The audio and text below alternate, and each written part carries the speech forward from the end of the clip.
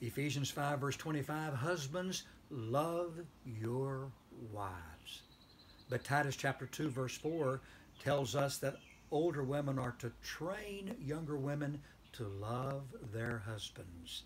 This love, this, this devotion and emotion is what makes for a beautiful relationship between husband and wife.